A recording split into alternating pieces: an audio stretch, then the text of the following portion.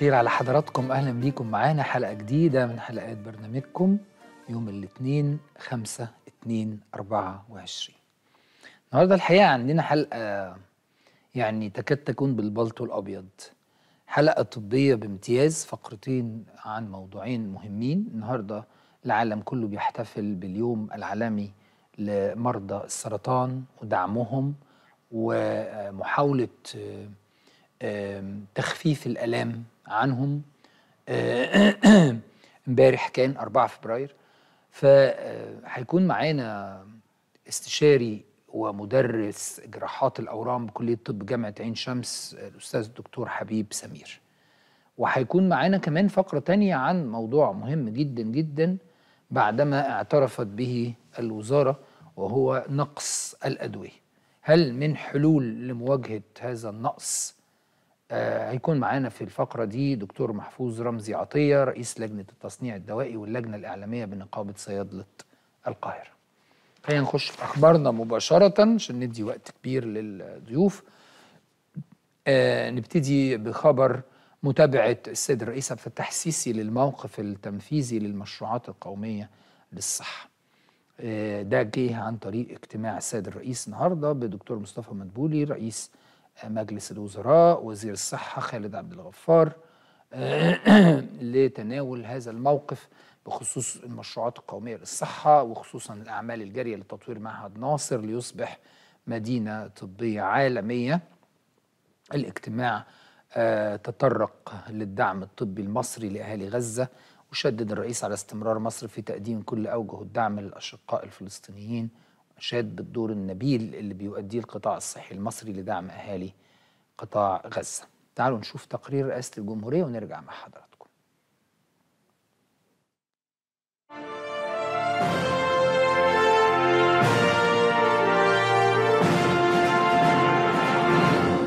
عقد السيد الرئيس عبد الفتاح السيسي اجتماعا مع الدكتور مصطفى مدبولي رئيس مجلس الوزراء والدكتور خالد عبد الغفار وزير الصحة والسكان. وصرح المتحدث الرسمي باسم رئاسة الجمهورية المستشار الدكتور أحمد فهمي أن الاجتماع تناول الموقف التنفيذي للمشروعات القومية للصحة وخاصة الأعمال الجارية لتطوير معهد ناصر ليصبح مدينة طبية عالمية. إلى جانب المشروعات الأخرى مثل مشروع مقر المعامل المركزية الجديد ومستشفى أورام منوف ومشروع تطوير مستشفى أم المصريين. فضلا عن مشروع المدينة الطبية التابعة للهيئة العامة للمستشفيات والمعاهد التعليمية المقرر إنشاؤها بالعاصمة الإدارية الجديدة. وأضاف المتحدث الرسمي أن السيد الرئيس تابع كذلك تطورات تنفيذ برامج العلاج على نفقة الدولة، حيث تم إصدار ما يزيد على أربعة ملايين قرار علاج على نفقة الدولة خلال عام 2023 بتكلفة إجمالية تبلغ 22 مليار جنيه. استفاد منها ما يقرب من 2.5 مليون مريض. كما تناول الاجتماع موقف المبادرات الرئاسية في الصحة العامة خاصة المبادرة الرئاسية لإنهاء قوائم الانتظار والتي انتهت من إجراء ما يزيد عن مليوني عملية جراحية منذ انطلاقها. وتطرق الاجتماع كذلك إلى الدعم الطبي الذي تقدمه مصر لأهالي قطاع غزة حيث تم وضع مخطط لمستشفيات الإحالة والمتضمنة 47 مستشفى في ثمان محافظات وتم استقبال ما يزيد عن 2200 مصاب وإجراء أكثر من 1200 عملية جراحية إلى جانب تقديم الخدمات الصحية والعلاجية للعابرين عبر معبر رفح.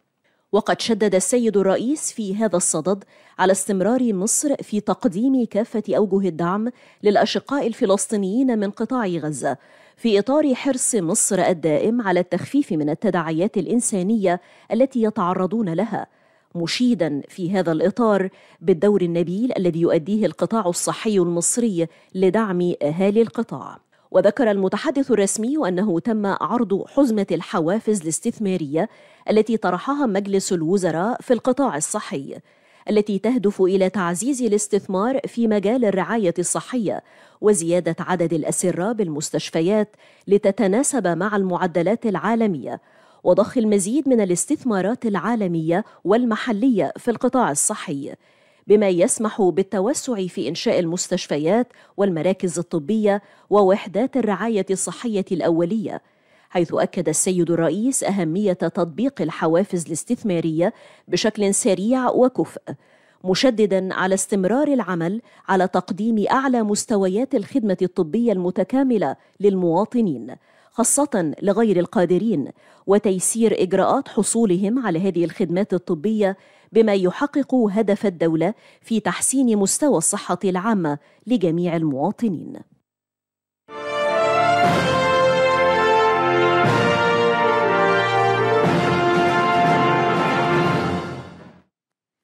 دكتور حسام عبد الغفار المتحدث الإعلامي لوزارة الصحة والسكان المصرية. مساء الخير يا فندم. مساء النور يا فندم. تحياتي لحضرتك ولمشاهدي حضرتك.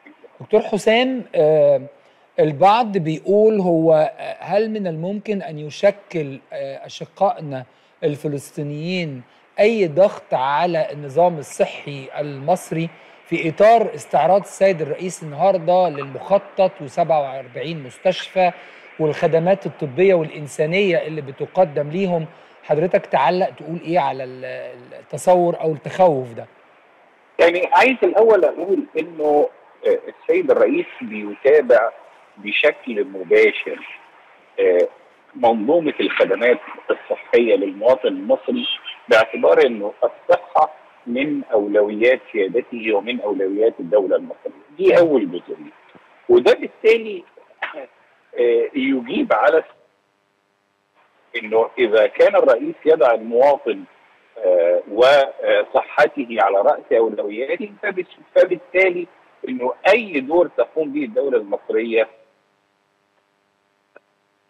لن يؤثر على حق المواطن في الصحة بل على العكس يعني ده دور تقدمه الدولة ويسعد به المواطن أيضا وهناك خطة واضحة لوزارة الصحة في تقديم كافة الدعم الصحي للاشقاء في غزة بدون أن يؤثر ذلك بأي شكل من الأشكال على تقديم الخدمات الصحية للمواطن المصري. طيب دكتور حسام يعني التطوير الكبير اللي بيتعمل في المنشآت وفي البنية التحتية للمنظومة الصحية زي مستشفى معهد ناصر وزي مستشفيات جامعة عين شمس وتحويل هذه المستشفيات الكبيرة إلى مدن طبية على أحدث صيحة ماذا يضيف في يعني رأي حضرتك للمنظومة الصحية ولإسعاد وتسهيل الخدمة الصحية على المواطن المصري أكثر يعني يضيف بداية زيادة في السعة الاستيعابية يضيف مستوى أكثر تميزا في تقديم الخدمات يضيف تنوع في نوعية الخدمات الصحية المقدمة للمواطنين ثم هو يؤكد على أنه في ظل كل الظروف الدولية والتغيرات والصراعات الموجودة تظل دائما ال ال الإنفاق على الصحة هو خارج إطار أي ضغوط وأي وأي صراعات لأنه مش بس المدن إحنا النهارده بنتكلم على إن السيد الرئيس استعرض زي ما حضرتك قلت تطوير مدينة معهد ناصر أو مدينة النيل الطبية المعامل المركزية مستشفى أورام منوف في المنوفية مستشفى أم المصريين في الجيزة مستشفى الخنكة في القليوبية مستشفى حلوان العام في القاهرة ودار السلام في القاهرة. فاحنا بنتكلم على إنه الدولة في ظل كل المتغيرات والضغوطات العالمية والأزمات العالمية يبقى الصحة على رأس أولوياتها وهي خارج كل حسابات ضغط الإنفاق الحكومي. بشكرك جدا يا فندم دكتور حسام عبد الغفار المتحدث الإعلامي لوزارة الصحة والسكان. شكرا جزيلا. نروح مع حضراتكم لبدء الأوكازيون الشتوي وسط توقعات بمشاركة ضخمة تصل إلى 4000 محل وشركة تجارية. النهاردة بدأ الأوكازيون الشتوي بيستمر شهر. المشاركة المتوقعة زي ما قلت لحضراتكم من 3500 ل 4000 محل تجاري متنوع. وزير التموين علي المصلحي بيوجه المديريات لتسهيل إصدار التصاريح للمحال اللي عايزة تشارك في الاوكازيون الوزارة بتقول إنها هتقوم بحملات يومية لمتابعة سير العمل في المحال التجارية جودة السلع المنتجات المعروضة نسب التخفيضات وحق حق حقيقية التخفيض اللي مكتوب وشددت على خضوع من يخالف قواعد المشاركة في الأوكازيون للمساءله القانونية. آه الأستاذ حسين رشوان عضو غرفة الملابس الجاهزة بالاتحاد العام للغرف التجارية مساء الخير يا فندم. مساء الخير يا فندم. يعني بتشوف حضرتك إنه آه ممكن يساهم بنسبة قد إيه الأوكازيون الشتوي في آه مشاركة والله المواطنين والله هو الأوكازيون جاي في ظروف صعبة اليومين دول والناس مشغولة بالأكل والشرب الأسعار زادت فكان لازم يبقى في اوكازيون عشان يقدر المنتج كمان يصرف الإنتاج اللي عنده يعني. امم طيب هل هل حضرتك. بتتابع التخفيضات هل في رأيك هي حقيقية هي نسب كبيرة تستحق إن المواطن ينزل ويبقى مروح مبسوط والله تقدر تقول إنه يعني حوالي 75% من الأمور دي مصداقية. آه في بقى قلة بقى ده يعني يعني طبعا الجهات الرقابيه بتكتشف على طول لأن هو المفروض عشان يعمل أوكازيون مش هيعمل من على طول كده ده لازم يروح يكتب طلب التجارة الداخلية يقول أنا محلي في الحته الفلانيه وبطاقه الضريبية رقم كذا وسجل تجاري كذا وعنواني كذا وهعمل أوكازيون بنسب تتراوح مثلا من 10 ل 30 ل 50 زي ما يكتب. آه بس يبقى اللي- السعر اللي بيكتبه الأصلي ده اللي بيكتبه ده بيراقب. يعني لازم يكون عندك فواتير من قبلها بشهرين ثلاثة كده أيوة. بيها بالسعر ده علشان ما يبقاش اوكازيون وهمي. في صحيح. حالة الاوكازيون الوهمي بقى بياخد محضر و- وبيتعمل له الإجراءات القانونية. طب هل يا فندم في إقبال على ال- اليوم الأول للاوكازيون النهارده؟ آه، يعني م- إقبال محدود. لسه الناس يعني بتتلمس خطاها لأنه حضرتك الفترة الأخيرة دي زادت الأسعار شوية. في خصوصا في المواد الغذائية. فالناس طبعا متوجهة دلوقتي أساسا للأكل والشرب. بعد كده الملابس. نمره اثنين يعني. صحيح. تشتري هدوم بعد كده أو أجهزة كهربائية أو اللي ممكن يتأجل آه، بيأجلوه الأجهزة الكهربائية وما ادراك ما الأجهزة الكهربائية برضه زادت أسعارها. بطريقة يعني يعني صعبة جدا. ف- صحيح. ربنا يلطف حال الناس. يا و- رب. ويمكن الظروف المحيطة برضه بينا هي كان ليها تأثير كبير جدا في رفع الأسعار وال والمشاكل اللي حاصله في الدول يعني. صحيح يا فندم ربنا ما بشكرك يعملناش مشاكل إن شاء الله. يا رب يا فندم بشكرك جدا. أستاذ حسين رشوان عضو غرفة الملابس الجاهزة والاتحاد العام للغرف ال- بالاتحاد العام للغرف التجارية؟ شكرا جزيلا. نروح مع حضراتكم لوزير الخارجية الأمريكي أنتوني بلينكن اللي وصل النهارده للسعودية في مستهل جولة بالمنطقة هي الخامسة منذ بدء الحرب على غزة. بلينكن يستهل جولته بزيارة للمملكة ويلتقي ولي العهد السعودي سمو الأمير محمد بن سلمان. آه، يلتقي أيضا وزير الخارجيه السعودي فيصل بن فرحان. يواصل جولته بعد كده اللي بتشمل آه، آه، إسرائيل وقطر ومصر. وفي الفترة الأخيرة دأب المسؤولون الأمريكيون على آه، إن هم يخلوا مصر للآخر. ربما بيلموا الرؤية الشاملة لما يجب أن يكون من ال- الحدود المتاخمة لفلسطين وإسرائيل. لكن هنشوف يعني ال- إيه اللي ممكن آه، يحصل خلال الفترة ال- اللي جاية. طيب خلونا نروح لفاصل ونرجع نكمل أخبارنا مع حضراتكم.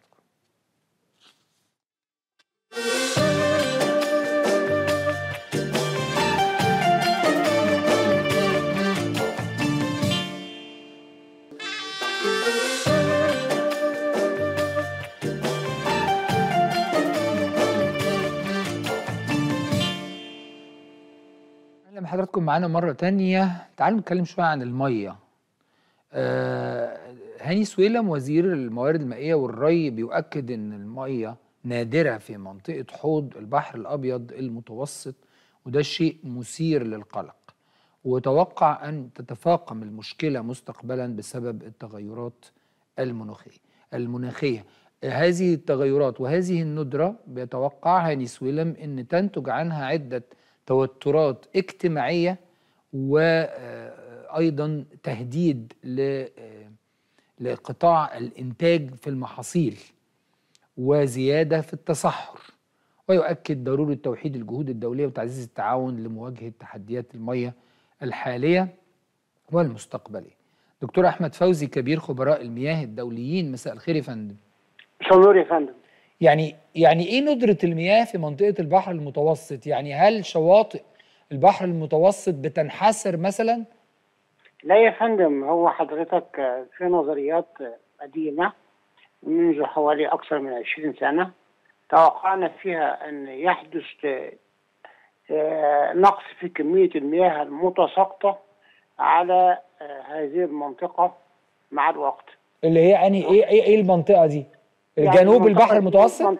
منطقة جنوب وشمال المتوسط. تمام.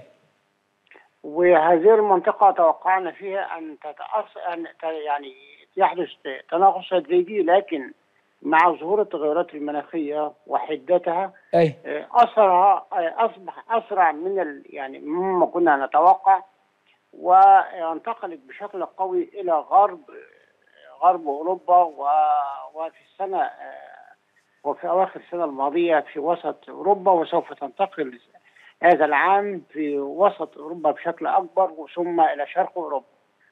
كل هذه الموضوعات يعني إحنا ما زلنا في الساحل الشمالي للبحر المتوسط. طب إحنا كان عندنا برضو توقعات سيئة لا قدر الله بإغراق الدلتا ولذا سارعت مصر بعمل حواجز الأمواج وصخور وحاجات مشروعات قوية.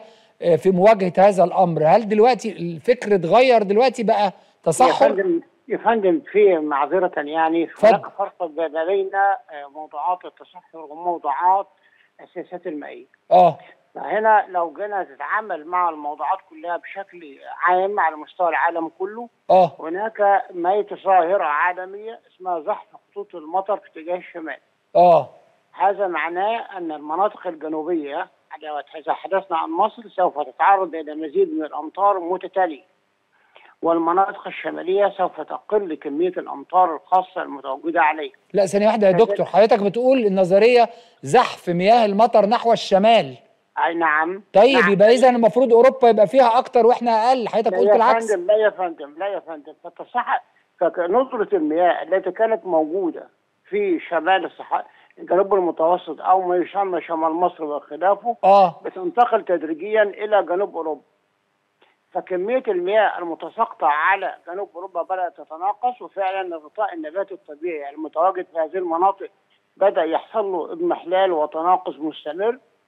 مع زحف أيضا آه، اتجاهات الرياح آه، وبالذات الرياح الشمالية الغربية بدأت تحدث موجات جفاف حادة في غرب أوروبا وتنتقل إلى وسطها طب خليني هذا- أسأل سعادتك عن علاقة ده بالتراجع في إنتاج المحاصيل اللي تخوف منه أو تحدث عنه وزير الموارد المائية والري المصري. يا فندم هذه المنظومة البيئية المتكاملة متكاملة تتطلب تغير في حاجتين مهمين جدا. آه.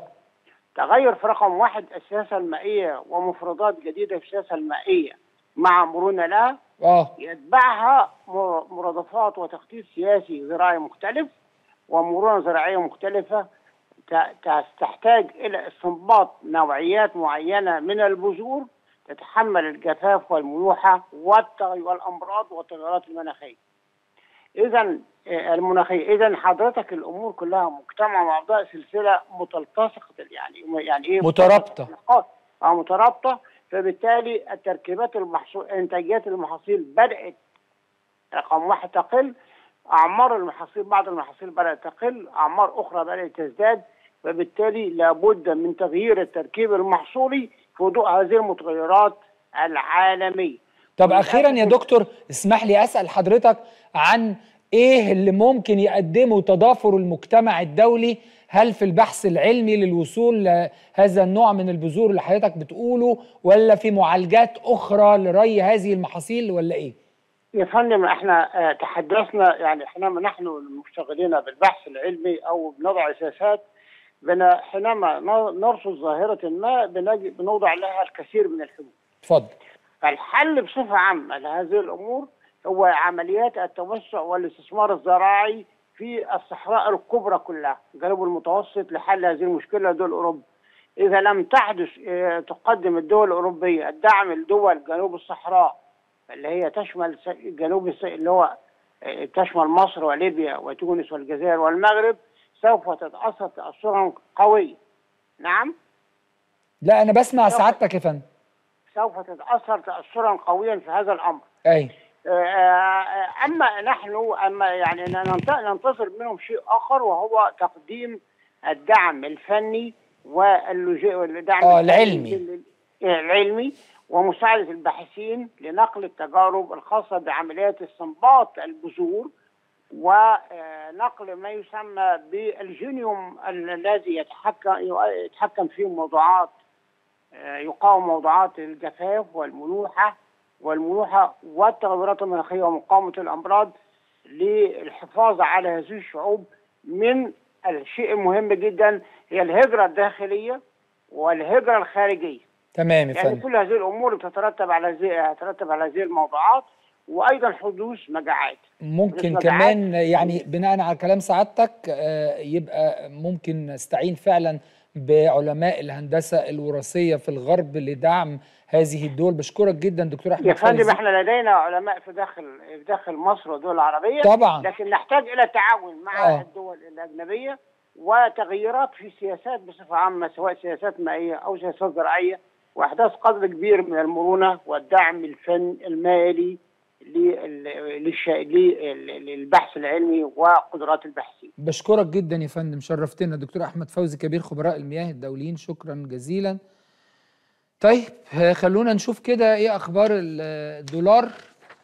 الدولار آه، بيواصل آه، نزوله. طبعا آه، حضراتكم عارفين الجدل اللي كان حاصل الأيام اللي فاتت حوالين نية مصر طرح آه، منطقة راس الحكمة في الساحل الشمالي للاستثمار الإماراتي برقم آه، كبير الحقيقة. آه، فيعني حصل إنه مجرد ما ترددت هذه الأخبار وتم من الإعلام توضيح الصورة في مقابل ال ال الحسابات اللي على وسائل التواصل الاجتماعي الحسابات الخائنة اللي قعدت تقول الحق ومصر تبيع مدينة ومش عارف إيه والكلام الفارغ ده آه، هو كله عبارة عن استثمار. حد بيجي يستثمر عندك زي ما هو عنده مليان استثمار آه، من هذا النوع من جهات أجنبية وليست هي قواعد عسكرية وليست هي أراضي غير آه، إماراتية ومفيش الكلام الفاضي ده. مهم يعني أنه منذ حدث هذا الجدل تنازل الدولار عن آه، عرش أرقام مزرية في السوق السوداء كانت عالية جدا. فالبنك المركزي بيقول إن الدولار وصل التراجع في السوق السوداء النهارده آه، من 56 و4 من عشرة خلال تعاملات أمس إلى 55 طبعا إحنا كنا داخلين على 70 جنيه إن لم نكن وصلنا لهذا السقف بالفعل. آه، النهارده كان 55 و44 قرش. آه، في ظل حالة من الارتباك بيشهدها السوق الموازي بعد عدة إجراءات شهدتها السوق في اليومين الماضيين. طبعا الإجراءات آه، يعني من من نوعية آه، ضبط ال- السوق السوداء محاولات لضبط السوق السوداء آه، محاولات لإتاحة مزيد من الدولارات في البنوك آه، آه، القبض على ال- الأوراق المزيفة الدولارات المزيفة اللي اتمسكت في سمنود وكان مرشح إنها تتمسك في أماكن تانية. اللي كلمتكم عنها الأسبوع الماضي. آه، البنك المركزي المصري أعلن ارتفاع احتياطي النقدي من العملات الأجنبية خلال يناير إلى قرابة 30 آه، مليون آه، دولار وأوضح البنك إنه وصل بهذا الرقم الاحتياطي الإجمالي للعملات الأجنبية أو النقد الأجنبي ل 35.249 مليون. يعني بنتكلم في 35 وربع مليار دولار. مقارنة ب 35.219 آه، في شهر ديسمبر الماضي. دكتور كريم العمدة أستاذ الاقتصاد مساء الخير يا فندم. أهلا بحضرتك يا فندم وكل السادة مشاهدي البرنامج الكرام. دكتور كريم يعني هل بالفعل إنه في إجراءات آه، أدت آه، يعني إجراءات من البنوك من الأجهزة الرقابية من التعامل مع السوق السوداء هي اللي أدت لنزول آه، هذا الرقم وهل هذا الرقم صحيح؟ يعني بعد ما كنا لمسنا السبعين جنيه في السوق السوداء وصلنا للرقم اللي أنا قلته ده اللي هو 55 تقريبا. يعني طبعا إحنا يعني لازم نتفق على ان آه، يعني إن السوق المصري آه، كان متعطش الأخبار ايجابيه منذ سنتين تقريبا. آه.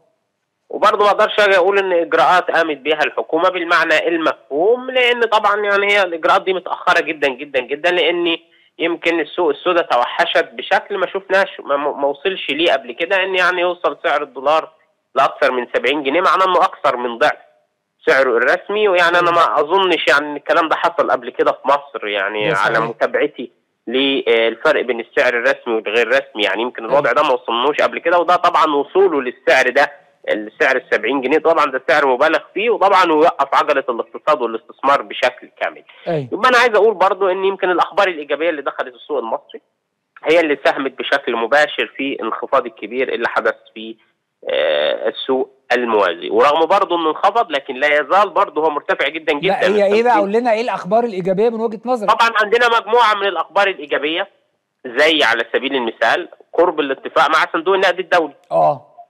يمكن كان الكلام على 3 مليار في البداية الزيادة هتبقى لا إما 7 لا إما 10 الزيادة إيه يا فندم؟ الزيادة هتبقى يعني كنا الكلام الأول ب... ب... أيوه كنا على ثلاثة وعايزين نوصل لثمانية لكن ما حدش عارف هن... هنتفق على كام. يعني من 6 ل 10 ممكن. ياه.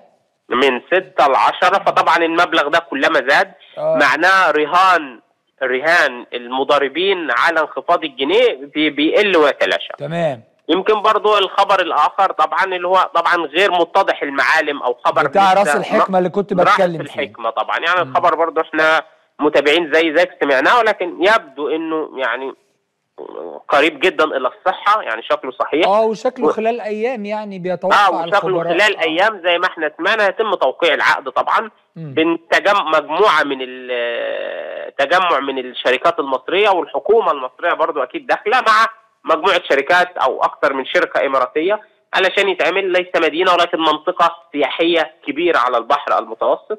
طب خليني أسألك يا دكتور كريم عن شيء مختلف شوية. كانت مصر بتحاول تجري مباحثات وهي عادلة ولها فيها كل الحق الحقيقة بسبب ضغط ما يحدث على أطراف الدولة في فلسطين وفي السودان وفي ليبيا وفي باب المندب كانت بتحاول تجري مباحثات لتخفيض الديون لتأجيل أو أو إعادة جدولة أقساطها هل لم تنجح أي من هذه المباحثات؟ يعني طبعا إحنا عارفين إن السوق السوداء دي مستمرة في مصر بقالنا سنتين. آه. بقالنا سنتين. حتى السعر الرسمي للدولار في البنك برضه اللي هو ال 31% ولا 30% ده ضعف سعره قبل الأزمة. أيوه.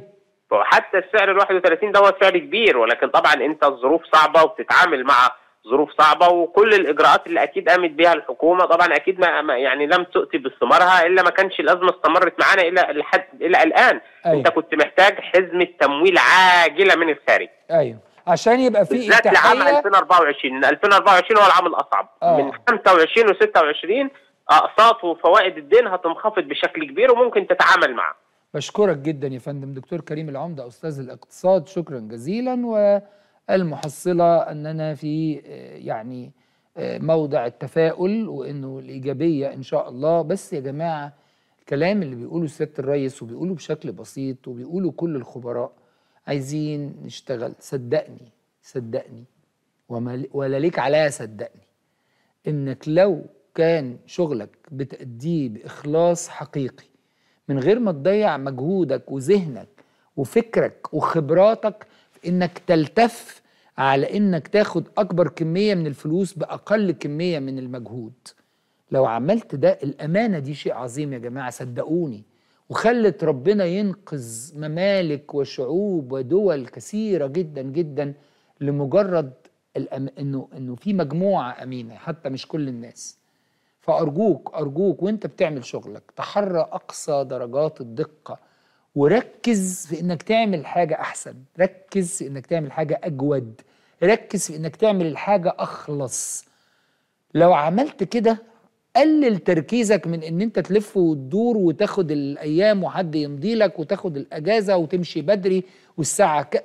ركز إنك إزاي تكون مخلص. صدقوني لو لم نخرج من محنة الاقتصاد الحالية إلا بهذه القيمة قيمة الإخلاص في العمل محدش هيقدر يقف قدام المصريين. طيب وزيرة الثقافة بتفتتح فعاليات يوم فلسطين بمعرض الكتاب معرض القاهرة الدولي للكتاب في دورته ال 55 واللي طبعا بيعني جدا جدا بالثقافة الفلسطينية ويحتفي بها.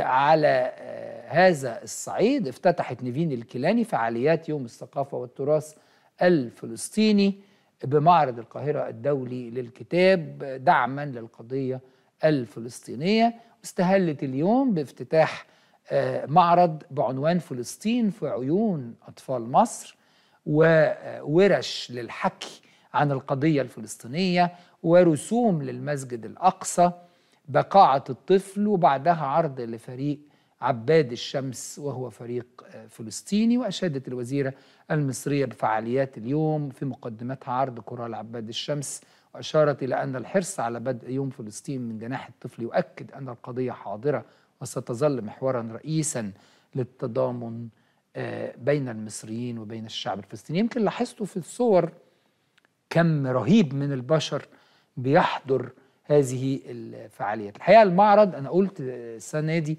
إنه آه، السنة اللي فاتت كان آه، وصل ل 2 مليون زائر في أيامه. إحنا تخطينا بعد خامس يوم بس المليون ونص. وأعتقد إن الأرقام هتكون هايلة وهتكون آه، مش صادمة لكن مفاجئة لأنه الناس لما تتزنق المصريين كده لما تتزنق تدور في جذورها تدور في ثقافتها تدور في الشخصية المصرية تدور في الهوية المصرية تدور في الثقافة تدور في القراءة تدور في سليم حسن ويعقوب الشاروني شخصيات المعرض السنة دي.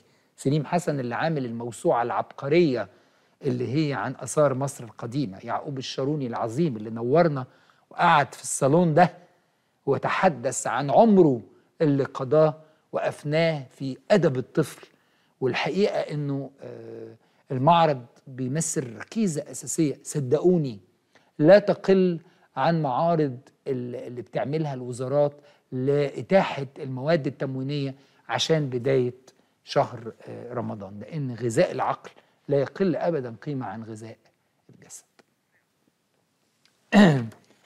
طيب آه تعالوا نروح لفاصل آه بعديه يشرفنا دكتور محفوظ رمزي عشان نتحدث عن أزمة نقص الأدوية.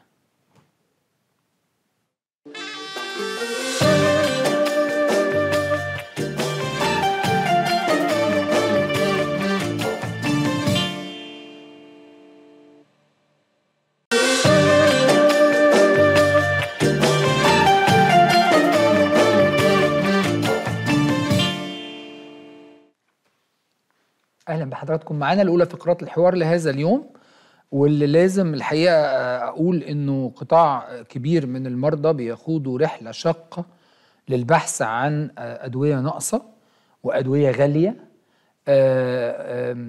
خصوصا أصحاب الأمراض المزمنة. مش هطول كتير عشان أرحب بضيفي دكتور محفوظ رمزي. عطية رئيس لجنة التصنيع الدوائي واللجنة الإعلامية بنقابة صيادله مصر. أهلا بيك أهلا بيك أستاذ ايهاب الساده المشاهدين. دكتور محفوظ برضو بشفافية مطلقة. خليني أقول لحضرتك أنه الجهات الرسمية اللي مسؤولة عن نقص الأدوية رفضت التعليق وأنه بعد ما اعترفوا رسميا في في منشورات يعني لكن ممكن لما حد بشخصه بيدخل بيه فأنا عايز أعرف منك إيه حجم الأزمة لأنه عايز أناقشك في كام حاجة تانية كده ليها علاقة بالموضوع يعني. أولا يعني حضرتك طبعا تفضلت قلت إن الجهات الرسمية قالت إن في أزمة نقص في بعض الأدوية وده فعلا حقيقة موجودة. لكن أنا ما أجي أعرف يعني إيه نقص دواء. آه لازم أشوف المؤسسات الدولية والرسمية الخاصة بالصحة العالمية بتقول إيه. آه. مؤسسة الصحة العالمية بتقول إن نقص الدواء يعني نقص المادة الفعالة مش موجودة عندي في أي دواء. تمام. أنا عندي أسماء تجارية كتير جدا لكن حاصل نقص في بعض الأسماء التجارية.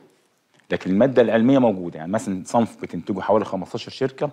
في ثلاث أربع شركات. يعني ما فيش نقص في المادة الفعالة. يعني بص في يعني خلينا نشخص موضوع النقص على كذا محور. آه. في بعض الأدوية. هناك نقص في بعض المواد الفعالة. خلينا الأول نعرف هل هي ادويه تجاريه هل هي أدوية مرض أمراض معينة اللي ناقصة؟ لا لا مش إيه؟ بحسب كل شركة. حسب كل شركة. في مثلا حاجة كانت كان عامله أزمة في الغدة. آه. من حوالي كام شهر غدة درقيه آه. والحمد لله في شركتين مصريتين آه، إنتاجهم يكفي ست شهور قدام. كويس. وأكتر حاليا. كويس. تمام؟ بس الناس متعودة على برطمان بشكل معين. آه. طبعا الإيحاء أو مقدم الخلية لازم يجيب العلاج ده بالشكل ده. آه. طالما الم- الدواء بيحتوي على نفس المادة الفعالة آه. ونفس الشكل آه، نفس الشكل الصيدلي ثقافة. ما دي. ثقافة يا أستاذ إيهاب لا مش ثقافه سيبك من الثقافة. دي مشكلة. حضرتك أشرت ليها سريعا كده من غير ما تقول تفصيلا. ما هو أحيانا فعلا الدكتور بيقول لا هو ده وده فعلا يبقى بيحصل. يبقى والدكتور هو اللي من. حقه والمريض معذور. هو يقول لك أه البديل ده وافق عليه البديل ده ما وافقش عليه في ف... لا بص يا سيد في فرق ما بين بديل ومثيل مثيل يعني نفس المادة ونفس شكل الصيدلي ونفس المادة الفعالة؟ بديل يعني مادة تانية بس استخدام نفس الاستخدام ما هو ده ده تخصص صيدلي والمفروض الطبيب عارف تركيب الخامة وتركيب المادة تركيب الدواء. تخصص ده تخصص صيدلي؟ طبعا. طب ما هو الصيدلي بالنسبة لي أنا كمواطن شكله عايز يبيع وخلاص. لا ما هو ده اللي بتقول لحضرتك ده مظبوط إن آه. هو أنا جاي للصيدلية دائما في تحفيز وتحريض عليا لازم تجيب لي ده هو هو وهات لي هات لي ده واشوف أحيانا. ده في بعض الدكاترة لكن بيقول لك من الصيدلية آه الفلانية بس في أطباء في أطباء بمنتهى الأمانة دلوقتي محترمين جدا بدأوا ياخدوا بالهم من المشكلة وهموا إنه المريض ياخد الدواء بتاعه المشكلة الكبرى يا أستاذ إيهاب لو مريض وقف دواء مزمن عشان آه. مش لاقيه خطر جدا. يحصل يحصل مضاعفات. مضاعفات. ممكن يبقى ممكن ما تعرفش تلحقها. طب إيه إيه تاني أدوية يعني أدوية أمراض إيه اللي فيها نقص في السوق واللي بتتباع أغلى؟ لا بص الدواء طالما بيتباع في الصيدلية بيتباع بنفس السعر. آه. الأغلى بقى السايكل بتاعت الأغلى إحنا إحنا كصيدلة بن- بنتحمل التكلفة. بمعنى إيه؟ أنا هرجع بقى بز... عشان الناس المشاهدين يبقوا والصيادلة برضو يبقوا فاهمين القصة ديت. كان زمان يا أستاذ إيهاب بيحصل إيه؟ من حوالي 20 سنة. مم. كل شركة إنتاج أو مصنع دواء عنده قطاع للتوزيع عنده أسطول عربيات للتوزيع. أيوه. فبتنزل عربية بمنتجها للصيدلية والدواء موجود في العربية. آه. عايز دواء إيه؟ X دواء Y اتفضل. أدي فاتورتك ياخد الدواء عنده. وكان في تعامل مباشر ما بين الشركة المصنعة أو المصنع والصيدليات. وكانت المخازن ما كانتش منتشرة بالحجم اللي موجود دلوقتي فوق ال 2000 مخزن في مصر.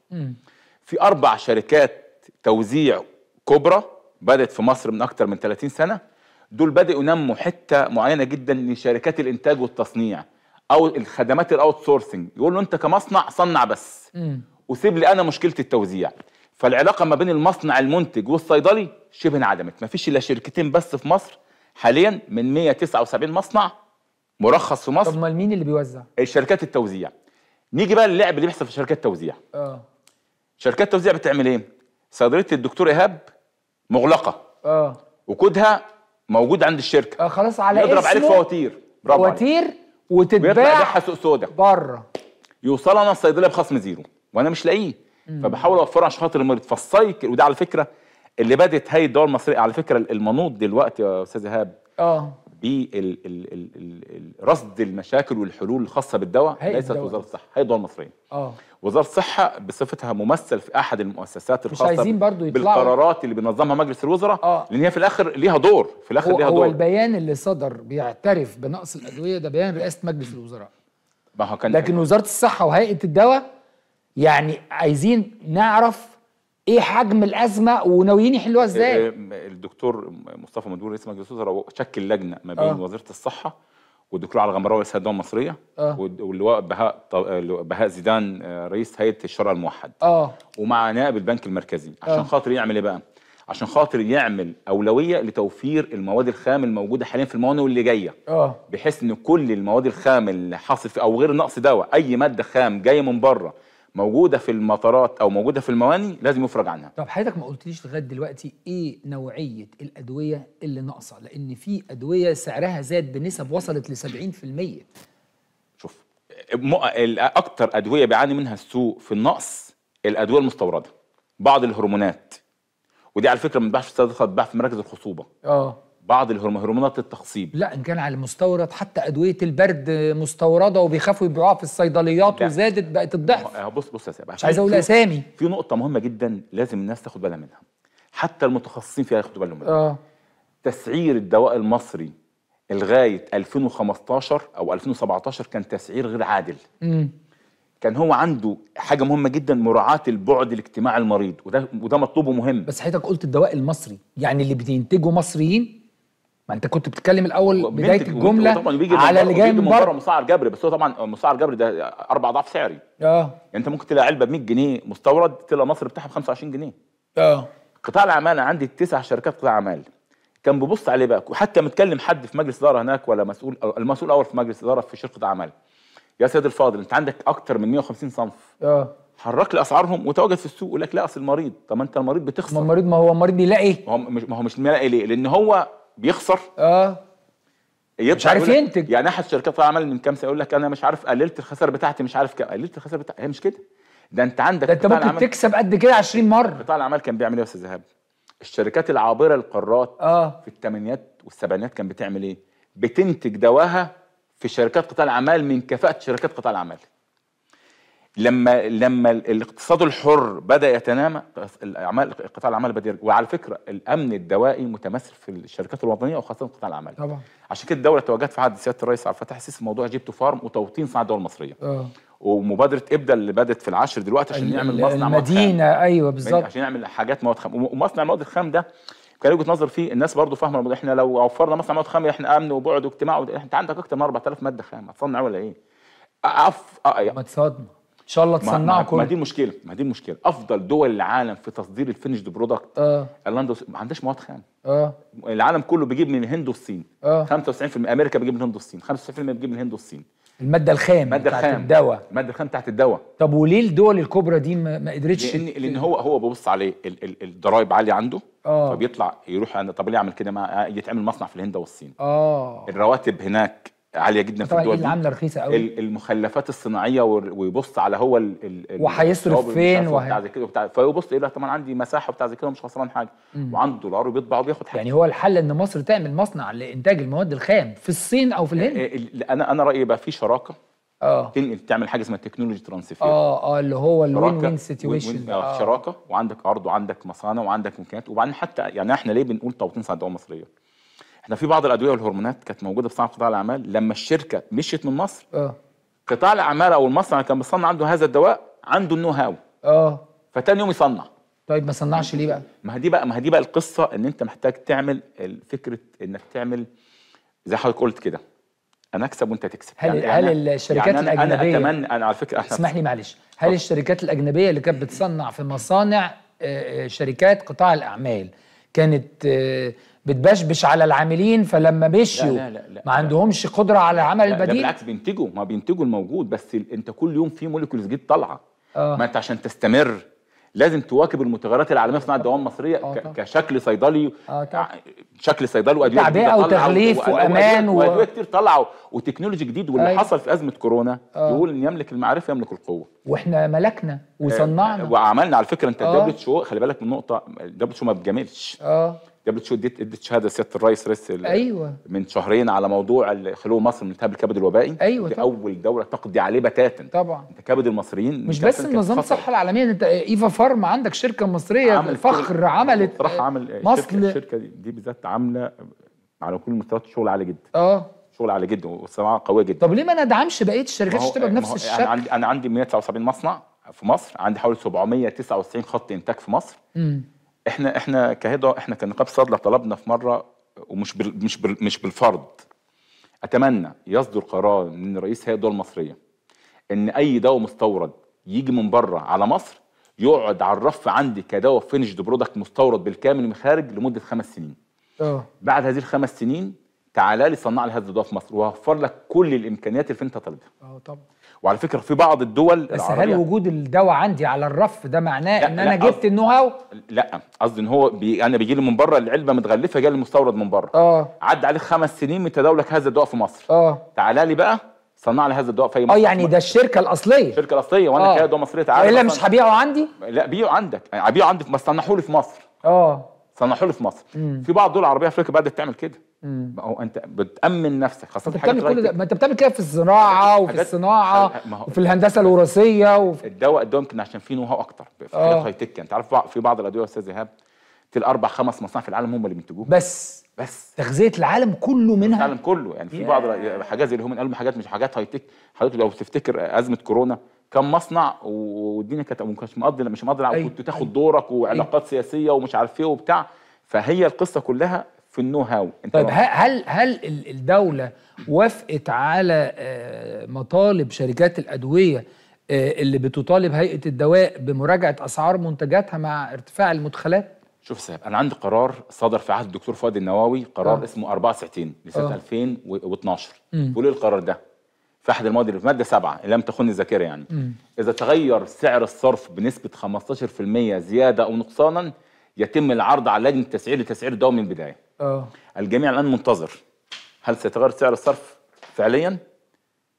سعر الصرف اللي هو إيه؟ سعر سعر الدولار. الدولار كام جنيه؟ طب ما هو كان ما إحنا غيرنا نتكلم عن الرسم. انت أيوه بس غيرت. إحنا غيرنا من كام سنة؟ غيرت. انت قريب. انت غيرت في 10 22 أعتقد. طب 10 هل هم 22. وضبوا أسعارهم بناء حصل. آه على طبعا حصل. فحصل آه. جاب تاني برضه في الكلفة الاقتصادية. آه. أصل في الدواء في حاجة اسمها direct cost. تكلفة مباشرة أيوة بتاعت. التغليف في وفي- حاجة. وفي وفي حاجات تانية بتبقاش محسوسة قدام أيوة، اللجنة أيوة،. اللجنة على فكرة اللجنة فيها حد من وزارة التضامن الاجتماعي في حد من كليه التجارة من كليه الطب وعنده إدارة تك... والشباب اللي عندهم في لجنة التسعيره شاطرين جدا مم. يعني حضرتك كشركة لو قدمت cost sheet بس ثانية واحدة إحنا بنتكلم دلوقتي الناس قاعدة بتتفرج علينا مش عايز حد يضحك علينا يعني الناس قاعدة بتتفرج على إننا بنقول لهم أنتوا مش لاقيين الدواء وبتشتروه غالي ونقول عايزين الأدوية اللي موجودة نعلي سعرها؟ لا هبقى شوف بقى. إحنا عايزين نعلي ولا. عايزين نتيح ولا عايزين نرخص؟ في قواعد. بيعملوا إيه بقى في الدواء المصريه خليكم معانا. ها؟ بيعمل إيه في الدواء المصريه لو أنت دواك زاد السنة اللي فاتت. آه. لا دواك ما زادش السنة دي. طب أنا يا جماعة دول آه اصبر شوية.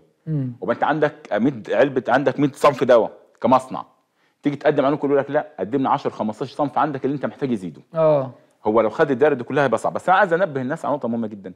سعر الدواء من زمان كان تسعيرته غير عادلة فالقفزات اللي بتحصل المفروض كانت تحصل من زمان ما كنتش آه. هتحس بالسعر دلوقتي وحضرتك قارن آه بس آه، حظنا الفقري بقى إنها جاية في وسط أزمة اقتصادية. طاحنة أزمة اقتصادية دي مش. نستمر شوف إحنا شوف إيهاب. أنا ممكن أطلع الجمهور وبحاول أرضي الناس وأقول إن فعلا لا لا بس لا لازم لازم الناس قول لازم وقول الصراحة. الحقيقة الصراحة عشان تفهم آه ما فيش حاجة اسمها كان شريط ب 5 جنيه آه ما فيش في العالم كله كده آه فأنت لما يجي أبو 5 جنيه يبقى ب 5 ما تقوليش دواء زاد ثلاث أضعاف. آه. لكن في بعض الأصناف من الأدوية. آه يعني أنت قصدك إن إحنا نعمل إعادة هيكلة عادلة للأسعار. إعادة تشوهات التسعير. آه تشوهات تسأل الله دي جملة جميلة. ما ينفعش يبقى شركة بتنتج نفس الدواء قطاع أعمال واخد 10 جنيه وشركة تانية قطاع استثماري خاص أو مستورد يبقى ب 100 جنيه. يبقى آه. ده 10 ضعف ما ده مش هيعرف يكمل هيقع. آه. وأبو 100 هيكمل. وهتيجي تدور كابو 10 كمواطن غير قادر مش هتلاقاه. طب لما اخره لك ب 30 جنيه آه. ما تقولوش بيه ده زاد ثلاث اضعاف لا ده أنا وفرت لك دواء. بدل ما تدفع 100 جنيه في شركة استثمارية حرة أو أو مستورد ده وفرت لك دواء لقطاع اعمال أو شركه وطنية ب 30 طب جنيه. هيقول لك ما أنا كنت بشتريه ب 10 ما هو ملوش مش دعوة هيقدر. بتشوهات الأسعار مش بقى. هيقدر. لا ما هو شوف مش هيقدر. في نقطة كمان أقول لك عليها برضو عكس الكلام اللي قلته دلوقتي هو إيه؟ إيه؟ العكس صحيح اللي هو إيه؟ في بعض الأسعار واخده زيادات من البداية عالية جدا. آه. حتى لو الدولار ضرب في اتنين لا تستحق هذه الزيادة. امم فلازم يحصل إيه؟ تعالي تعالي يا شركة. أنت عايز تزود الخمس أصناف دول؟ ما عنديش مشكلة هزودهم لك. طب أنت عندك مغالاة في بعض الأسعار التانية محتاجين ننزلها. آه. طب دي دي هل اللجنة اللي شكلها رئيس مجلس الوزراء ده من أدوارها؟ أعت- بص لجنة التسعيره آه، آه، اللي قام بعمل لجنة التسعيره هناك اللي ماسك الإدارة. آه، ناس محترمة جدا. والكلام تبع لجنة التسعير الدوائي آه إدارة اللجنه دي تبع لوزاره الصحة؟ تبعت هيئة الدول المصرية. لهيئة الدواء المصرية. وزارة الصحة يعني ملهاش. دعوة؟ نهائي بهيئة الدول لا ملهاش. دعوة اللجنة دي باللجنة اللي شكلها وزير الز- لجنة رئيس مجلس الوزراء. هو بيراجع خطوط عريضة. آه. عشان هو ال- ال- ال- ال- الهدف الرئيسي لهذه اللجنة توفير العمله الصعبه عن طريق البنك المركزي. آه. للمواد الخام. والدواء ينزل. ومسألة التسعيرة في الإدارة في إدارة التسعيرة في هيئة الدول المصرية دي قصة امم لكن ده اللي بدأ يحصل وبدأ يحصل بقى إيه؟ شيء من عارف الأزمات أحيانا من رحم المحن تخرج المنح طبعا. الأزمات بتصنع أحيانا أفكار. ده لازم. فبدأت هيئه الدول المصريه تنتبه لمين بقى؟ لتجار الدواء في السوق السوداء تجار الشنطة. المخازن اللي بتحرق على صيدلات وهمية آه. وتنزل تعمل صفحات آه. وتنزل الدواء بخصم زيرو وممكن تنزل الدواء على الصفحات بتاعتها بأضعاف أضعاف ده اللي حصل فين؟ لا مؤاخذة يعني ما, ما تقوليش بدأت تنتبه عشان ما أزعلش. ده هقول لك لما تبقى في صفحات على ال على الواتساب ولا على السوشيال ميديا عاملين- وأنا عامل نفسي مش واخد بالي. بص شوف دي دي مشكلة بقى. ده كل صيدلي استنى يا دكتور. كل صيدلي يتكلمه يقول لك استنى دقيقة واحدة ويبعت يقول له كذا وصل كام. يقول لك ب 1000 جنيه. عايز ياخده مش عايز ياخده. وتقابله بقى تقابل الراجل بالليل في الضلمة عند محطة البنزين. لا ما دي ما دي بيحصل بص بص, بص القصة كلها إن الجهات الرقابيه الصيدلي ملوش علاقة بالقصة خالص. طبعا. الصيدلي مكان مرخص الدواء بتاعه المكتوب على العلبه بيبيعه. تجار الشنطة اللي حضرتك بتتكلم لا لما يجي يعني يكون عايز يخدمك يعني آه، من غير ما تكون خايف تبلغ عنه يعني. لا لا مش كده. ما في بعض الشركات بتعمل إيه؟ في الأدوية الغالية. عشان يطلع الصيدلي بره المعادلة بيروح يكتب عند الطبيب الدواء بتاعه ويحط الكارت بتاع المندوب. الطبيب يديه لمين؟ للمريض. والمريض يطلع حط إيه؟ كارت المندوب الشركة الطبيب يسلمه لمين؟ آه. للمريض. يجي المريض يطلع يتصل بالمندوب والمندوب يجيب له الدواء بتاع الشركة بتاعه لغاية عنده. والصيدلة بره القصة خالص. ما ده برضه نوع من أنواع الفساد اللي بدأت برضه. طبعا. بتحايل. شوف القانون بيقول إيه؟ يعني بيحرم الصيدليات من إنها يبقى عندها طبعا. الأدوية و- و- طبعا. وبيبيع بره والهيئات عاملة نفسها إنها متفاجئة. لا لا شوف هقول لك على حاجة. اتفضل. القانون بيقول إيه؟ البيت الوحيد للصي... للدواء هو الصيدلي. تمام. مكان الوحيد للدواء هو الصيدلي أي حاجة تانية يبقى أنا لما ألاقي صفحة على الواتساب بتضرب أسعار عندي عندي بعيدة. عندي بص عندي كذا حاجة. رقم واحد أصل الموضوع برضه هيئه الدواء المصرية فيها دي اسمها إدارة التفتيش على مؤسسات الصيدليه بالكامل. تمام. وعندي جهاز حماية المستهلك منوط بالقصة دي. ماشي. وعندي المجلس الأعلى للإعلام المسؤول عن ترخيص الصفحات دي وزارة الاتصالات برضه ليها برضه دور في القصة دي. لا لا لا ما الصفحات دي مش مرخصة يا دكتور. يا فندم لكن مين اللي ليه الرقابة؟ مين اللي ليه حق الرقابة؟ في جهات لها حق الرقابه مباحث الإنترنت ال- ال- جهاز حماية ما المستهلك هو ما في مين النهايه يبلغ مباحث الإنترنت إن المحتوى. المقدم على هذه. الصفحة هو. محتوى احتيالي ده اللي حصل هيئة فعلاً. الدواء. هيئة الدواء مع هذه الجهات في لجان مشتركة وبيضربوا ضربات قاضيه قاسية جدا قوية جدا بس أحيانا مش كل حاجة بتتعرف خلي بالك السوق مليان يا أستاذ إيهاب 27 محافظة مترامة الأطراف حد بيحط رقم تليفون خلينا وهمي. نختم الفقرة بقصة حصلت معايا. حد قال لي وصيدلي والراجل اهو تليفونه اهو روح له عشان كنت بدور لأمي على دواء ناقص. وبيبيعوا أرخص من الرقم اللي موجود بيه في الصيدلية. أرخص من الرقم اللي موجود بيه في الصيدلية. وجبت منه علبتين ألافات يعني. وبعد كده لما قالوا لي طب هتجيب لنا تاني؟ قلت لهم أنا آسف. لأن أنا استدركت الولد في الكلام ببساطة. وطبعا عمال يقول لي آه، آه، آيات يعني وما يدل على إنه رجل صالح وبار وبيعمل كده خدمة للمرضى ويحلف و... طب قلت له طب أنت دلوقتي يعني بي هم بيجيبوا منين طيب؟ يعني بلاش أنت أنت عظيم. اللي هم بقى بيدوا لك الدواء ده بيجيبوه إيه؟ منين؟ فقال لي اللي أنت قلته. اللي حضرتك قلته قال لي صيدليات بيبقى مش عارف إيه فبيكتبوا إن الصيدلية دي خدت والصيدلية دي ما خدتش. ده جزء والمرضى؟ لا ده جزء وفي جزء تاني. ال- والمرضى لا، الغلابة ال- دول. القصة ال- ال- القصة الغير كاملة بقى اللي هو حاول يحكيها لك. إن ده أحيانا تاجر الشنطه بيبقى أرض خصبة للأدوية المغشوشة. أيوه طبعا. نفس الشكل نفس طبعاً. شكل العبوه على فكرة. طبعا. أنا ممكن ما أعرفش أفرق بينهم. أمال هو يا دكتور ليه بيستخدم الحتتين بتوع بيغري- بتوع إن إيه؟ هو بتاع ربنا؟ ما ما دي علشان أنت ما تعرفش وهو ممكن ما يبقاش. عارف وهو ممكن ما يبقاش عارف. هو ممكن ما يبقاش عارف. في ناس بتبقى عارفة ولا يهمها غير المكسب السريع. يا أستاذ إيهاب لو تفتكر حضرتك في أزمة اليوم القلب من كام سنة اليوم بتاع الاستسقاء بتاع الكبد. الكبد- ضربوا اليوم كانوا بيحطوا كانوا حاطين ينسون. يا نهار ينسون. يا نهار. عارف ان واحد مريض بالكبد بيموت ياخد ينسون؟ فالقصة كلها إن بقول وكم واحد بقى لا أنا عايز أعرف مش كم واحد مات باليانسون أنا عايز أعرف كم واحد اتقبض عليه وفي السجن دلوقتي. بص في ضربات قوية جدا قامت بها الدول المصرية آه، في أحد ال- الجاب اللي حصلت ما بين وزارة الصحة وهذا الدول المصرية مين مين منوط بيه التفتيش على الصيدليات؟ دي اللي عملت مشكلة في الفترة دي. حتى هذه اللحظة بنجني ثمارها. نتمنى لكن إن شاء الله تأكد نكون 100% ماشيين في الطريق الصحيح. بشكرك دكتور محفوظ. رمزي عطية رئيس لجنة تصنيع الدواء واللجنة الإعلامية بنقابة صيادلة القاهرة. بشكرك على محاولاتك إنك تقول الحقيقة بصراحة وأيضا محاولاتك إن أنت ما تجرحش في حد. بشكرك على حسن إدارة هذا الأمر يعني. شكرا جزيلا. فاصل قصير ونتحدث عن اليوم العالمي لدعم مرضى السرطان آه، اللي كان بالأمس مع الدكتور حبيب سمير.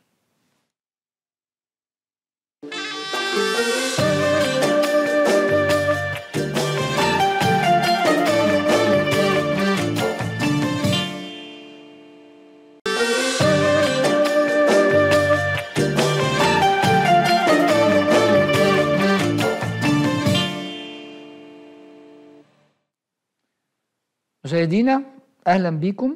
يعني وإحنا بنتكلم عن اليوم العالمي لدعم مرضى السرطان خبر مؤسف الحقيقة بقاله أقل من نص ساعة.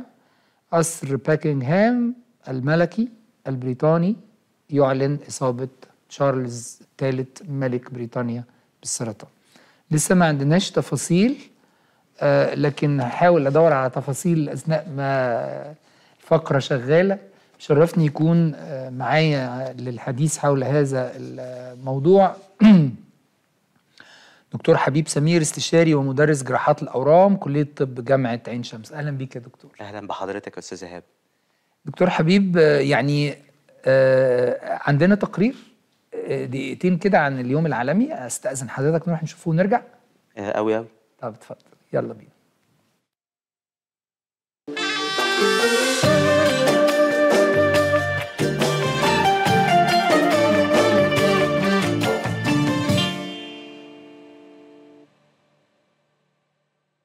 أربعة وعشرون عاماً من الوعي والتوعية من الاعتراف بالسرطان مرض ومقاومته بالمشاعر قبل الأبدان. يحتفل العالم اليوم باليوم العالمي للسرطان، وفيه تتوحد المسكونة بصوت واحد لمواجهة أحد أكبر التحديات التي نواجهها في التاريخ. السرطان هو ثاني سبب رئيس للوفاة على مستوى العالم، بسببه يفقد واحد من كل ستة أشخاص حياتهم سنويا وحوالي من 90% إلى 95% من الحالات المصابة بالسرطان ترجع إلى طفرات جينية ناتجة عن العوامل البيئية مثل أسلوب الحياة والعوامل الاقتصادية والسلوكية. أما النسبة من 5% إلى 10% المتبقية ترجع إلى عوامل وراثية. ولا نريد التحدث عن آلام المرض ونغض أبصارنا عن الطفرة العلمية العالمية التي لا تتوانى عن تحقيق هدفها الأسمى وهو خلق علاج فعال بشكل نهائي للقضاء على معاناة المرضى وضخ دماء الأمل في أوردتهم. وبعد سنوات عدة من التجارب بين نجاح وفشل. فعلى سبيل المثال قام باحثون أمريكيون بتطوير حبة يمكن أن تساعد في شل الخلايا السرطانية ومنعها من التكاثر والانتشار. وتعتمد هذه الحبة على تركيبات بروتينية معينة تمنع الخلايا السرطانية في الأورام الصلبة من التكاثر على حساب الأنسجة السليمة. التجارب التي دخلت في مراحلها التجريبية الأولى على بعض المرضى يمكن أن تحقق ثورة طبية في درب علاج السرطان كما أنها ستساهم في تطوير أدوية سرطانية تمنع انتشار المرض وتقلل بالتالي من مضاعفاته أو تهديده لحياة الإنسان وربما ستكون هذه الحبة بمثابة الأمل الحقيقي للمرضى في أنحاء العالم. ربما لا يسعنا إلا الصبر والكفاح الصامت الآمل ولنعلم يقينا أن النفس الحزينة تقتل الجسد كالمرض العضوي ولكن حتى في أشد الأمراض فتكا لتكن روحنا عالية مثابرة حتى يتحرر الجسد من براثن السرطان.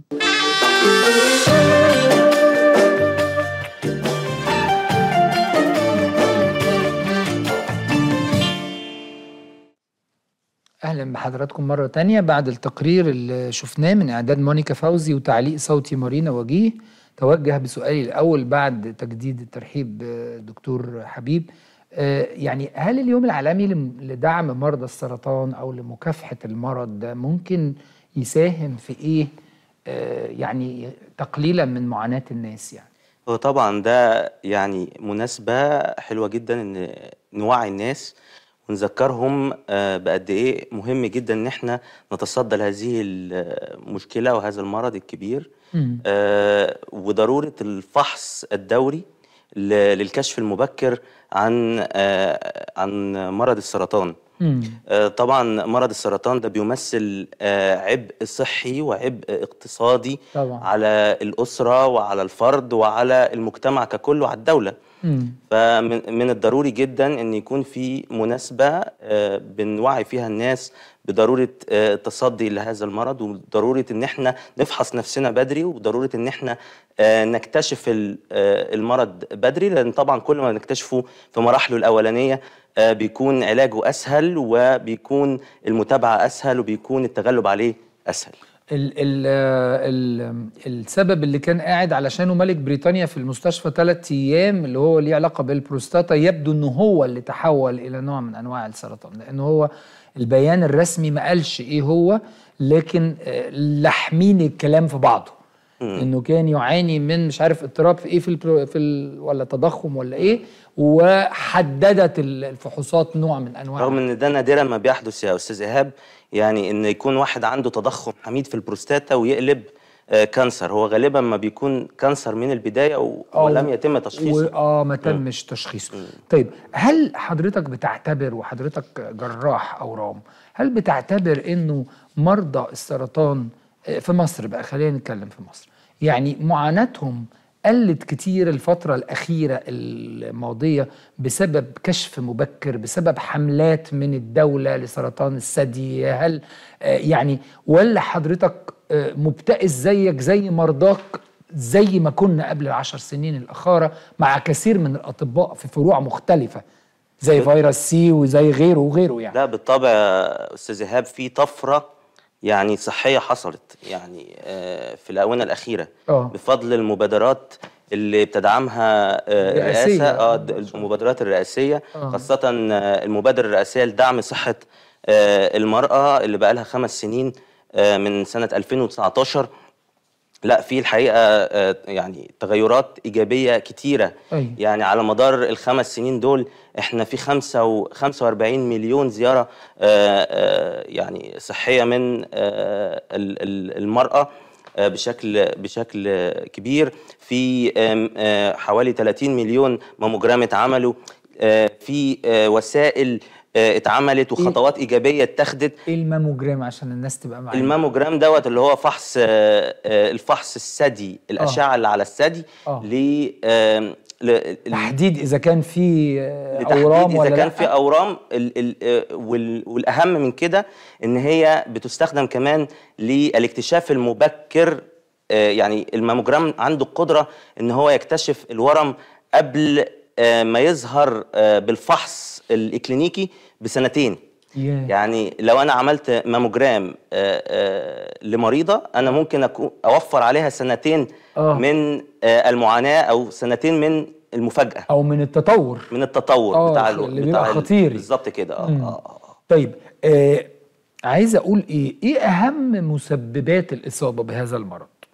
أهم مسببات الإصابة بهذا المرض هي حقيقه عوامل كثيرة. آه خلينا نتكلم كده هو المرض بيحصل إزاي اتفضل آه، السرطان ده هو ما هو إلا آه، خلايا آه، غير طبيعية لديها قدرة آه، إن هي تنقسم بشكل آه، خارج سيطرة الجسم مم. يعني خلايا بتنقسم آه، بعدد كبير والجسم لا يتحكم في هذا الانقسام الطبيعي إن الجسم بيكون فيه جينات قادرة على كبت انقسام الخلايا أيوة. أو التحكم في انقسام الخلايا.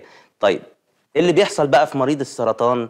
اللي بيحصل في مريض السرطان إن ممكن بتحصل له طفرة جينية. آه. آه، هذه زي اللي بتحصل في فيروس الكوفيد دي اللي عمالين نتابعها دي. بالظبط. آه. آه، تحور. آه. آه، الطفرة ديت بتعمل إيه؟ الطفرة دي آم، بتخلي الخلايا تنقسم أيوة. بشكل خارج عن سيطرة الجسم وبتخلي بتخلي آه، آه، جهاز المناعة لا يتغلب على هذا آه، الانتشار الانقسام والانقسام. بالظبط كل بالظبط آه، فالطفرات ديت آه، لما بتحدث الخلايا بتنقسم بهذا وبتنتشر آه، في الجسم بهذه الطريقة طيب إيه أسباب معلش عندي سؤال حوالين الطريقة. آه هل ده منطبق على الحميد والخبيث على الحميد والخبيث آه, آه على الحميد والخبيث آه, آه. بيبقى في خلايا آه إن الخلايا بتن... ال- ال- الخلايا بتنقسم بس الحميد آه هي بتنقسم ولكن ما بتنتشرش ما بتعديش ال- الحدود بتاعتها. يعني الورم ال- ال- الخبيث يختلف عن الحميد إن هو لما بينقسم آه، الخلايا آه، بينقسم والخلايا قادرة على إنها تغادر من مكانها وتروح لأماكن أخرى بعيدة.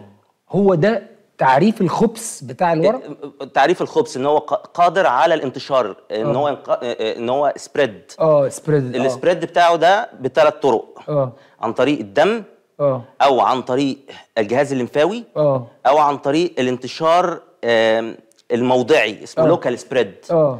فده دي ده ال- ال- السلوك اسمه ده, ده ال- ال malignant behavior طب ما هو ال local spreading ها. طب ما هو الورم الحميد ده عبارة عن local spreading لا هو آه، ولا بي- بيتقاس وخلاص بيثبت على كده؟ بي بي بيوصل لمرحلة وبيثبت عليها ما بيعديش ما بيعديش حاجة بال بالميكروسكوب اسمها آه. ال basement membrane. آه. اللي هي ال ال الخل- الحدود. الحدود بتاعته. آه. آه. ما بيعديش هذه الحدود إن هو يوصل آه للاماكن أخرى أو إن هو يخش لكن الدم أو بيتم استئصاله خوفا من إنه يتحول؟ وارد طبعا. آه. وارد طبعا إن أورام ال- إن الأورام آه الحميدة ممكن آه تقلب تبقى آه خبيثة طيب الس- السبب اللي حضرتك قلته للإصابة بمرض السرطان ده آه. سبب لا يملك الإنسان فيه آه شيئا آه. يعني هل آه، ليه بقى بيقولوا إن بعض أنواع الأكل بتسبب بعض أنواع الش- الشرب بتسبب بالظبط كده ما ما ما هو حضرتك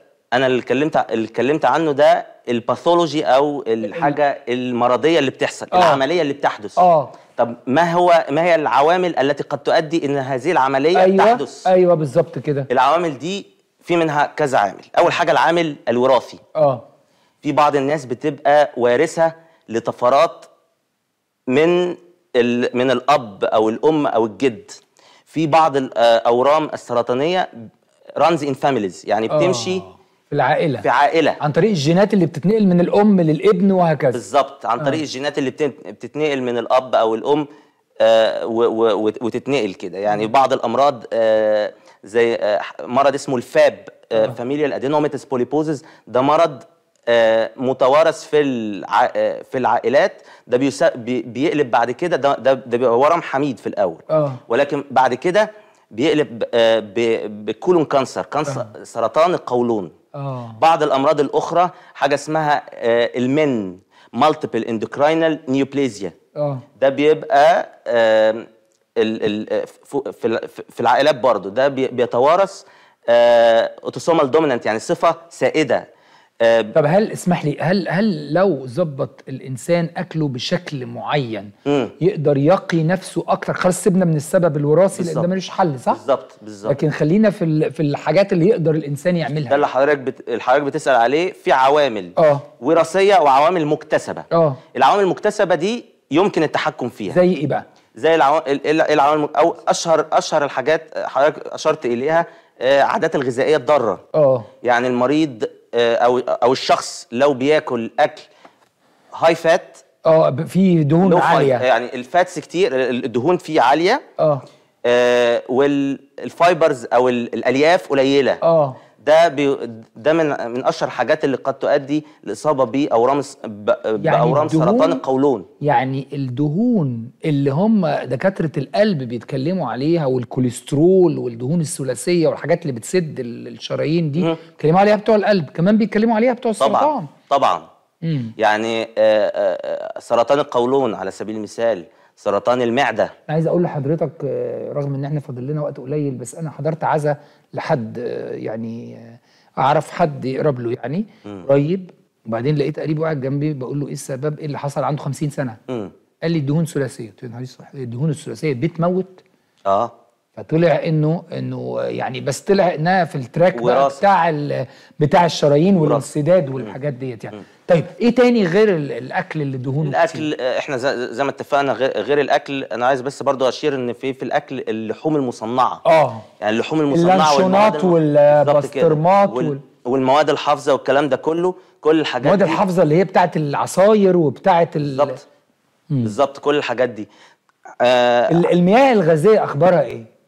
هل ليها علاقة؟ المياه الغازية يعني م- مشهور جدا من المياه الغازية. الص- الصين اعتمدته منظف كيميائي آه. وشالته من ال supermarkets. أشهر نوع بيعمل لكم إعلانات آه لونه أسود عشان تشربوه. ما هي الأل- أشهر نوع.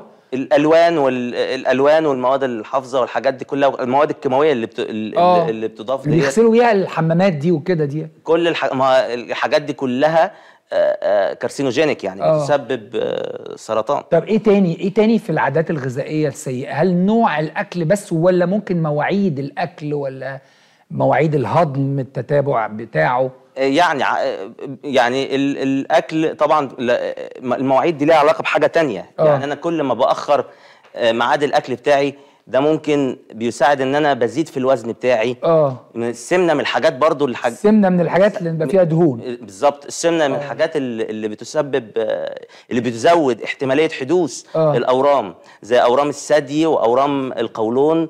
آه، دي من الحاجات المهمة طيب جدا. آخر حاجة عشان بيقولوا لي فاضل آه، يعني دقيقة ولا حاجة كنت متابع مع شخص يعني آه، وكنا رحنا لدكتور من أكبر دكاترة علاج أو جراحات ال- السرطان في مصر وكان الكلام على نعملها بالمنظار ولا نعملها جراحة. مم. آه، آه، هل حصل تطور مطمئن في هذا الأمر؟ آه طبعا. في آه، يعني آه، دلوقتي آه، الم- المناظير بقت بشكل كبير آه، جدا ممكن نعمل ال- الع- العملية بالمنظار. آه. ده عايز أقول لحضرتك غير المنظار دلوقتي ده في حاجة أعلى من المنظار يعني آه، بس لسه لم تعمم في مصر الروبوت. آه. في عمليات ممكن آه، يتم إجراءها عن طريق الروبوت. آه. يعني بدون دكتور؟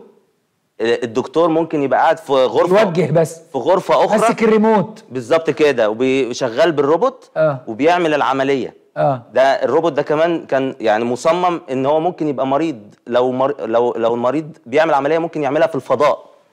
و... و... بس ده طبعا يعني ده ال scope بتاع القصة دي بس آه، لسه في اللي المستقبل. نتمناه يعني. بالظبط آه آه يا دكتور. آه العفو لحضرتك جدا الشرف ليا. ده كتر خيرك ده الشرف لينا. دكتور حبيب سمير استشاري ومدرس جراحات الأورام كلية طب جامعة عين شمس. شكرا جزيلا لحضرتك. بشكركم مشاهدينا. بكرة إن شاء الله حلقة جديدة. تصبحوا على خير.